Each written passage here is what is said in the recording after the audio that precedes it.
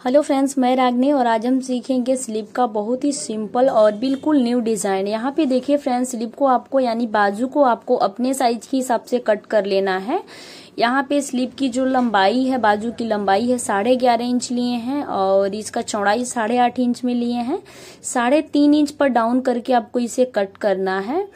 और यहाँ पे देखिए फ्रेंड्स चौंतीस साइज़ चेस्ट के लिए वाला स्लीव मैं रेडी कर रही हूँ। आप अपने साइज़ के हिसाब से स्लीव को कट कीजिएगा।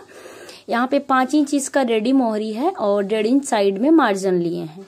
यहाँ पे देखिए मेन कपड़ा है इसका तो मेन कपड़े के सीधे साइड आपको अस्तर वाले पार्ट को पहले मिला के रख लेना है। नीचे से आधा इंच कपड़ा हम सिलाई में पकड़ते हुए दबाएँगे, देखिए इस तरह से। अगर आप थोड़ा सा छोटा स्लीव पहनते हैं तो इसका लंबाई आप नौ इंच भी रख सकते हैं, दस इंच भी रख सकते हैं, आप अपने चॉइस के हिसाब से रख सकते हैं। अब इसको उल्टे साइड फोल्ड कर दिए हैं और यहाँ पे देखिए अस्तर के बिल्कुल कॉर्नर पर सिलाई लगा करके इसको मेन कपड़े के साथ आपको सेट कर लेना है। चारों तरफ़ सिलाई लगाने के बाद से, अब देखिए अस्तर के बाद जो भी एक्स्ट्रा कपड़ा दिख रहा है आपको मेन कपड़े में, उसको कट करके निकाल लेना है। क्योंकि मेन कटिंग जो होती है ना, हम अस्तर के ऊपर ही करते हैं। तो इस तरह से आपको स्लीव को रेडी कर लेना है। अब यहाँ पे देखिए, कट आपको कितने इंच में डालना है। ऊपर से आपको डेढ़ इंच छोड़ देना है और जो बीच का एरिया बच रहा है, जितना आपका कट बैठे, आप तीन कट, दो कट, जितना आपको समझ में आए कि इतना कट यहाँ पे बैठ जाएगा, उतना बना सकते हैं। तो सात इंच में हमारा तीन कट यहाँ पे बैठ रहा है। देखिए, सात इंच को आपको तीन भाग में बांट लेना है। देखिए, इस तरह से टेप को फोल्ड करके। तो यहाँ पे दो इंच दो पॉइंट आ रहा है हमारा, एक कट का लंबाई। अब यहाँ पे पेपर पेस्टिंग लेंगे और पेपर पेस्टिंग को डबल फोल्ड करके ऊपर से डेढ़ इंच छोड़ के मार्क कर लेंगे और नीचे की साइड जितना आपका बॉर्डर है, वहाँ तक आपको मार्किंग कर लेनी है। अगर आपके पास पेपर पेस्टिंग नहीं है तो आप अस्तर के ऊपर भी इस साइज़ में कट करके पलट सकते हैं। अब देखिए यहाँ पे दो पेपर पेस्टिंग डबल फोल्ड में रखे हैं। दोनों स्लिप की कटिंग यानी दोनों बाजू का जो डिज़ाइन है, उसको एक ही साथ कट करेंगे। तो यहाँ पे दो इंच दो पॉइंट भी एक मार्किंग कर लेंगे। फिर दूसरी मार्किंग भी आपको दो इंच दो पॉइंट पर ही करना है और तीसरा भी आपका उतना ही आना चाहिए। यानी आपको बराबर बराबर पार्ट में इसको तीन भाग में बांट लेना है। तो देखिए यहाँ पे दो इंच दो पॉइंट का हाफ़ कर लेंगे। तो यहाँ पे एक इंच एक पॉइंट आएगा। तो वहाँ पे सेंटर पे आपको एक पॉइंट बना लेनी है। और यहाँ पे देखिए, एक इंच पे इसकी चौड़ाई लेनी है। इस तरह से देखिए, बीच में आपको एक इंच पे चौड़ाई ले लेना है और दोनों साइड इस तरह से मिला लेना है। तो बहुत ही सिंपल होता है इस डिज़ाइन को कट करना। देखिए यहाँ पे दोनों साइड आपको एकदम बराबर बराबर लेना है। अब देखिए, इसको पहले कट कर लेते हैं। डिज़ाइन को आप पहले पेपर के ऊपर कट करें, उसके बाद से उसी को रख के आप पेपर पेस्टिंग के ऊपर कट कर लें। अब देखिए, उसी पीस को रखेंगे और यहाँ पे दूसरी जगह भी मार्क कर लेंगे ताकि तीनों कट आपका एकदम बराबर से बने, कोई बड़ा या छोटा ना हो।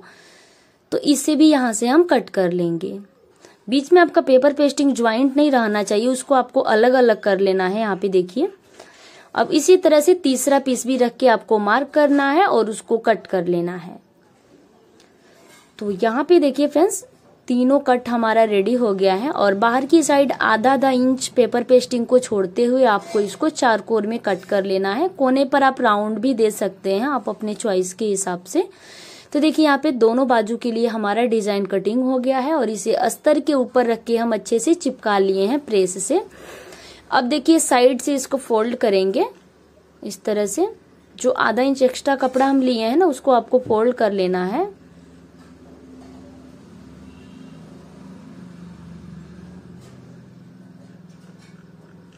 चारों तरफ़ से कपड़े को फोल्ड करने के बाद से अब आपको करना क्या है? फिर से स्लीप को लेना है।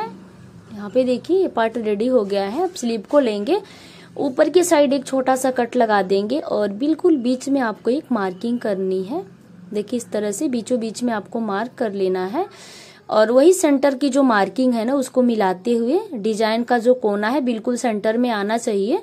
यहाँ पे पिन लगा लेंगे। अगर आपके पास पिन नहीं है तो बिल्कुल सेंटर में कच्ची सिलाई लगा लें, ताकि इधर उधर न खिसके जब आप डिज़ाइन के ऊपर सिलाई लगाएँ।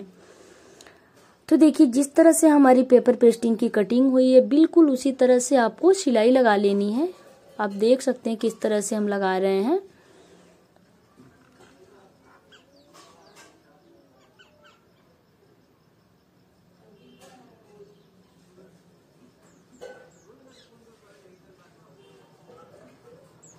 तो देखिए, चारों तरफ़ आपको सिलाई लगा लेना है। बीच में एक छोटा सा कट लगाएँगे। वहीं से बिल्कुल सीधे में आपको कट कर लेना है। ध्यान रहे कि आपकी जो सिलाई है कोने पर की, वो नहीं कटनी चाहिए। एक चाप कपड़े को छोड़ते हुए बाकी कपड़े को आपको अंदर से कट करके निकाल लेना है। तो यहाँ पे देखिए फ्रेंड्स अंदर का जो भी कपड़ा है उसको हम कट कर लिए हैं और पूरे कोने पर आपको बिल्कुल फिनिशिंग से कट लगाना है। ध्यान रहे कि आपकी सिलाई नहीं कटनी चाहिए। अभी यहाँ पे देखिए, दोनों साइड से नौखून से प्रेस करते हुए इसको पलट के सीधा करेंगे। देखिए इस तरह से। दोनों साइड से आपको कोने को अच्छे से पलट लेना है। यहाँ पे देखिए, इसे भी अंदर की साइड कर लेंगे।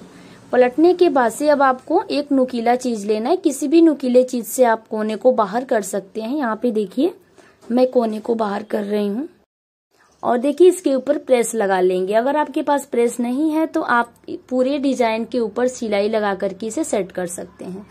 अब यहाँ पे देखिए, एक इंच दो पॉइंट लंबाई चौड़ाई में चार कोर कपड़ा लेंगे, कंट्रास्ट कलर में। और इस कपड़े के पूरे कोने को बीच में फोल्ड करना है और यहाँ पे ब्लाउज के बटन को आपको बीच में रखना है। यहाँ पे देखिए, बीच में बटन रखेंगे और चारों तरफ़ से आपको सुई धागे के मदद से कपड़े को बीच में खींचना है। अगर आप बड़े साइज़ का बटन बनाना चाहते हैं तो बड़ा बटन इसमें यूज़ करेंगे तो बटन बड़ा हो जाएगा। उसके हिसाब से आपको कपड़े की लंबाई, चौड़ाई को थोड़ी से बढ़ा लेनी है।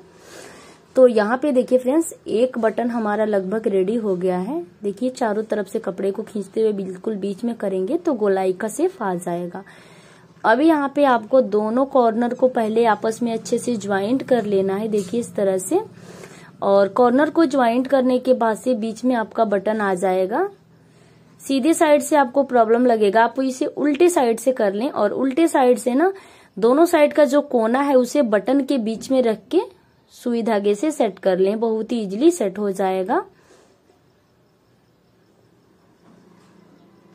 तो देखिए, यहाँ पे आपको तीन चार बार रिपीट करके इसको टक कर लेना क्योंकि पहनने के बाद से यहाँ पर हल्का सा खिंचाव आता है और आप अच्छे से नहीं टक करेंगे तो वहाँ से निकल सकता है आपका बटन।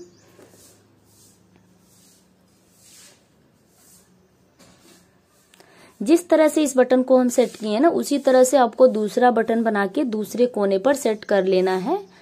और यहाँ से धागे को कट करेंगे। आप देख सकते हैं, बहुत ही फैंसी हमारा बटन लग रहा है इसमें, इस डिज़ाइन में। और अब आपको देखिए, यहाँ पे चार कोर कपड़ा लेना है पोटली बनाने के लिए, ढाई इंच लंबाई चौड़ाई में। यहाँ पे देखिए, रुई है, उसी के मदद से हम पोटली बनाएँगे। यहाँ पे गोलाई देंगे इसमें।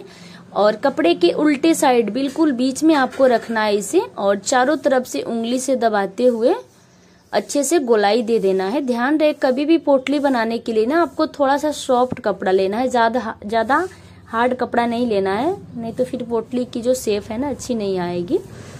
एक पोटली हमारा बनके रेडी हो गया, बहुत ही सिंपल प्रोसेस के साथ आप देख सकते हैं। दूसरा भी आपको उसी तरह से तैयार कर लेना है। देखिए, यहाँ पे कॉटन लेंगे और उसमें गोलाई देंगे। बिल्कुल बीचों बीच में आपको रखना है और चारों तरफ़ से कपड़े को खींचते हुए गोलाई देना है। यहाँ पे ध्यान रहे, धागा आपको सेम कलर का लेना है, क्योंकि पोटली ज्वाइंट करते टाइम थोड़ा सा धागा भी दिख सकता है, इसलिए आपको सेम कलर का लेना है धागा। पूरे पोटली को हम तैयार कर लिए हैं, और यहाँ पे देखिए, मोहरी पर इसे लगाएँगे तो यहाँ पे देखिए, एक पोटली को रखेंगे, और आप चाहें तो कपड़े का भी डोरी बना सकते हैं, मैं यहाँ पे रेडीमेड डोरी यूज़ कर रही हूँ। कभी भी आपको डोरी कंट्रास्ट कलर में लेना है, जिस कलर का पोटली है, उस कलर का नहीं लेना है। तो यहाँ पे देखिए, पहले डोरी को आप स्टिच कर लें पहली बार फ़र्स्ट टाइम और डोरी को टक करने के बाद से बिल्कुल उसको चिपकाते हुए पोटली रखना है। और पोटली के बाहर की साइड से घुमाते हुए आपको यहाँ पे डोरी को टक कर लेना है। तो देखिए फ्रेंड्स डोरी को आपको कट नहीं करना है, फिर उसे सीधे साइड कर लेना है। अंदर की साइड सिलाई लगाने के बाद से फिर उसे चिपकाते हुए एक पोटली रखना है। और बाहर की साइड से राउंड देते हुए उसको आपको एकदम साथ में टच करते हुए पोटली को सेट कर लेना है।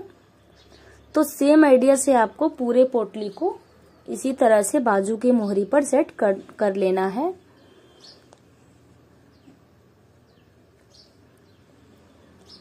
तो यहाँ पर देखिए फ्रेंड्स अब लास्ट तक हम इसे रेडी कर लिए हैं। बीच की जो गैपिंग है ना आपको एकदम बराबर से छोड़ना है। बीच में आपको बस एक एक चाप की गैपिंग देनी है ज़्यादा गैपिंग नहीं देनी है। यहाँ पे देखिए। यहाँ पे इसको टक कर लेंगे लास्ट तक और यहाँ से डोरी को कट कर लेना है। उल्टे साइड करके देखिए ये जो मार्जिन है ना इसका तो मार्जिन को आपको अच्छे से दबाते हुए आधा इंच के दूरी पर एक और सिलाई लगा लेना है ताकि पहनने के बाद से जो मार्जिन है ना बाहर के साइड ना निकले।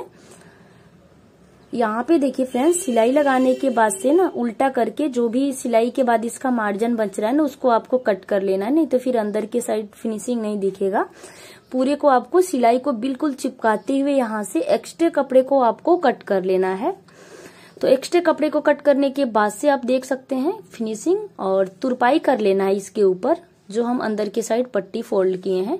दूसरा बाजू भी इसी तरह से तैयार कर लेंगे और दोनों बाजू का लुक आप देख सकते हैं। बहुत ही फैंसी और आसान डिज़ाइन है।